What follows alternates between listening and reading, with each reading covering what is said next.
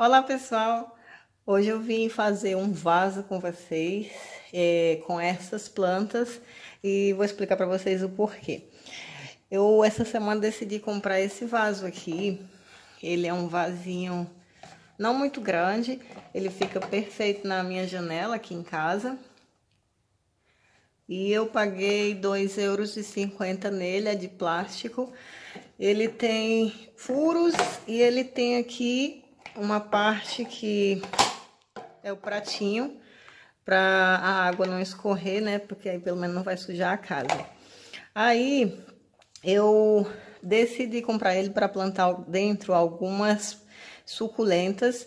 Essas suculentas eu fiz a colheita delas ontem, que são essas daqui. Eu vou falar o nome delas para vocês. Vocês já viram aqui no canal.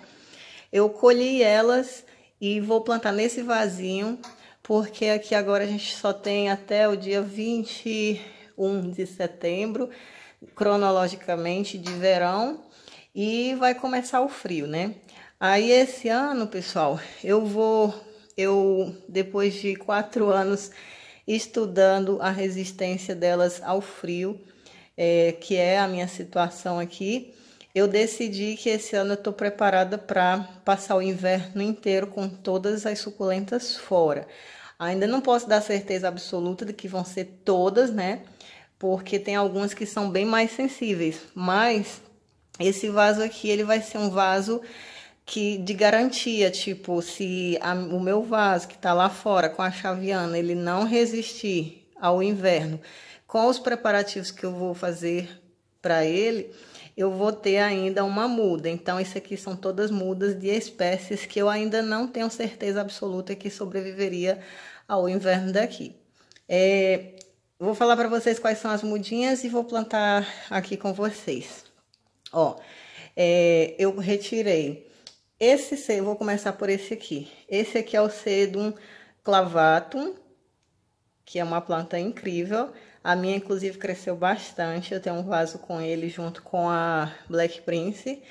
E o cedo clavato, pessoal, ele, nas pesquisas que eu já fiz, diz que ele resiste até menos 7 graus Celsius. Mas como eu não passei o inverno passado com ele fora, ele ficou dentro de casa, não tenho certeza ainda, então vou garantir a muda dele. É, ó, os cortes já estão cicatrizados, eu cortei ontem, mas secou bem, super bem. Eu deixei todas apoiadas em um pratinho ali fora, levaram o sol da manhã, porque elas já estavam levando o sol, né? Os vasos estão fora. Então, estão é, tudo ok, elas estão super hidratadas. É, essa daqui é a Echeveria, é, que até mostrei no, nos últimos vídeos agora, que era, é uma Echeveria agavoides. Eu tenho a identificação dela como aquamarina, mas teve gente nos comentários que me falou que ela pode ser a Gilva, Echeveria agavoides Gilva. E eu não tenho certeza aí, né? Mas, enfim, essa daqui vai ser uma das que vai ficar no vaso de garantia. A outra é a Echeveria pulidones, é, eu tenho um vaso lá que tá com três mudas, aí eu retirei essa daqui, pequenininha. Tirei todas as mudas pequenas, porque o vaso é pequeno e eu vou plantar todas elas juntas. Não vai ser um arranjo, tá? Não tô fazendo um vaso ensinando para vocês é, a fazer arranjo de suculentas. Eu vou plantar elas ali dentro como der, mas é para cultivar elas durante o inverno, para mim não perder essas espécies aqui. Essa daqui, eu peguei duas mudas dela, porque o vaso que eu tenho tem várias mudas. É a Echeveria albicans. É bem bonitinha. É... Essa daqui, o meu vaso está bem feinho lá fora, mas eu consegui retirar uma muda, que é a Cedeveria Letícia. É... Estão cicatrizados, tá vendo? Cicatrizou muito rápido, em um dia já ficaram bem sequinhos, ó. Essa daqui é a Echeveria pulvinata Frost, que pelo nome, né, em teoria deve resistir a um super inverno, mas eu não tenho certeza absoluta. É, aí eu peguei também uma da Echeveria pulvinata Ruby Blush. Essa daqui eu tentei cortar uma roseta que ficasse menos aparente lá o corte que eu fiz no meu vaso. Então, essa daqui, ela tava, tá mais verde, mas a planta em si lá tá com as pontas bem vermelhinhas já. Essa daqui, na verdade, eu nem cortei do meu vaso. Era uma folhinha que tinha brotado da Echeveria Roandanium. É muito pequenininha, mas ela cresce super rápido. Peguei uma pontinha do Graptopetalum ametistino, pequenininho. E uma da chaviana, que a chaviana tá lá com mais três mudas ainda na roseta principal. Então, é, o vaso vai ser esse aqui. Eu vou falar para vocês o que eu vou colocar dentro e volto para plantar.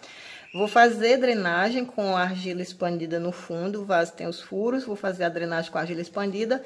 Acrescento a terra para suculentas, que é essa que ultimamente vocês têm visto quando eu planto, então nem vou mostrar. E volto para a gente colocar as rosetinhas acomodadas ali dentro. Voltei aqui com a terra. A terra, do jeito que vocês estão vendo aqui em cima, ela tá toda dentro do vaso, tá? Misturada assim, desse jeito aqui. E fiz a drenagem lá no fundo. Eu vou começar aqui com a chaviana. Eu tô pensando que eu vou colocar a chaviana, tipo assim, no cantinho, porque ela fica bem grande. Porque aí pode ser que ela aguente mais tempo, né? Vou só enfiar elas aqui mesmo, tá? Aí, por exemplo, aqui a, a Frost, ela cresce em altura, fica tipo forma de árvorezinha. Eu vou colocar ela aqui próxima da chaviana, porque ela vai ficar mais alta. Coloquei as duas uma próxima da outra. A Ruby Blush da mesma forma. A Ruby Blush tá com um pouco o caulezinho aqui. Ela também cresce em altura, então eu vou apoiar ela por aqui. É, quem mais? Aqui a Polidones Vou tentar colocar ela aqui assim. E, ó, a Cedeveria Letícia, eu vou tirar aqui umas folhas, porque para fazer mais caule, ela também tá com as folhas muito viradinhas para baixo aqui. Essas folhinhas dela aqui tudo brota. Então, deixa eu tirar aqui umas folhas. Ela ficou, ó, com mais caule. É, elas, pessoal, aqui dentro o vaso vai ficar dentro de casa durante outono e inverno. Quando começar o frio, né, eu coloco para dentro. Por enquanto ainda vão continuar fora. Elas eu vou eu vou cultivar, mas é um cultivo em que eu não posso deixar elas estiolarem dentro de casa durante o período frio de jeito nenhum, tá? Aqui também vou tirar umas folhinhas. Porque ela tem um pouquinho de terra aqui com, com raiz. Vou colocar ela por aqui assim. Aqui a terra vai descer ainda, né? Quando fizer rega. Eu vou fazer a rega dela hoje, porque elas já estão cicatrizadas. Essas duas aqui, juntas, que são álbicas. Fazer a limpezazinha dessa. Aqui eu tirei umas, umas folhinhas sequinhas que tinha aqui embaixo. Ela também tá com raiz e vou colocar aqui próximo da irmã dela. É, se ficar espaço aqui nesse vaso, para mim vai ser melhor, porque eu vou procurar outras ali que eu posso colocar aqui dentro. Essa daqui, a Ruandane, eu vou deixar ela aqui pertinho. É, se, tiver, se ficar espaço, eu vou acrescentar outras que eu vou procurar. Essa aqui é pequenininha, eu vou deixar ela aqui pelo meio bem por aqui, ver se ela fica. E o sedum ficou espaço, então vou ter que procurar outras espécies para colocar aqui dentro, pequenas assim. É, o sedum clavato, eu vou tirar aqui umas folhas dele, não tinha nem necessidade porque ele tem caule. Mas eu vou, eu pretendo fazer ainda esse, esse mês um vaso só dele, para que fique um vaso bem cheio, bonito, então, provavelmente eu gravo para vocês. Eu, essas folhas aqui já vão servir para fazer esse vaso. Então, vou colocar ele bem por aqui. Bem por aqui assim. Aí, ó, como vocês viram, ficou esparso, tá? Aqui vai caber, acho que mais umas duas ou três. Eu vou procurar essas espécies ali no meio dos meus vasos, das que eu não tenho tanta certeza que vão resistir, e coloco aqui. É, vou fazer a rega dele com vocês. Então, busquei aqui a água, tá aqui meu regadorzinho, tá aqui o vaso. É, a terra, ela tem boa drenagem, então, em teoria, a água vai entrar e vai descer. Inclusive, tá entrando e descendo com bastante facilidade. Eu vou regar toda a terra do vaso hoje. Tentar não molhar elas aqui por cima vai ser difícil. Mas se cair água em cima, não tem problema. Depois eu venho e sopro as bolinhas d'água. Esse vaso aqui, ele é daqueles meio inteligentes, sabe? Que tem esse buraquinho aqui. Quando a água sai embaixo, a gente vê a água aqui desse buraquinho. Então, ainda não saiu, vou continuar colocando água aqui. É, a temperatura por aqui, ultimamente, tá uns 30 graus à tarde. E durante a noite, a temperatura cai até os 15, 12 graus. Tá bem estranho o clima. Então, vou continuar regando aqui até a água sair embaixo. Aqui a água já saiu embaixo, não sei se vocês vão conseguir ver. Se a gente fizer, tá ali, ó, tá vendo? A água já saiu embaixo. Então, é, não é recomendado deixar as suculentas em vaso com prato de água acumulado, porque a, a terra fica encharcada, querendo ou não. Mas, se até daqui a umas duas ou três horas a terra não tiver sugado essa aguinha que eu vi aparecer aqui, aí eu tiro o pratinho e derramo essa água que ficou acumulada no pratinho. É, aqui tem bolha de água acumulada, e a água acumulada que ficou, como eu falei para vocês, eu venho e sopro. Aquela minha ferramenta lá estranha que vocês morrem de rir, tem gente que diz que isso aqui é coisa estranha. Eu venho aqui, ó, e sopro a aguinha que ficou acumulada, sem nenhum problema. E se ficou alguma terrinha aqui nas folhinhas, principalmente essas que são peludinhas, também não tem problema não, que com o tempo ela sai, tá? E aí, esse vaso aqui, por enquanto, ele vai ficar fora ainda, eu não vou colocar na sombra para elas enraizarem, porque elas já estão acostumadas ao sol.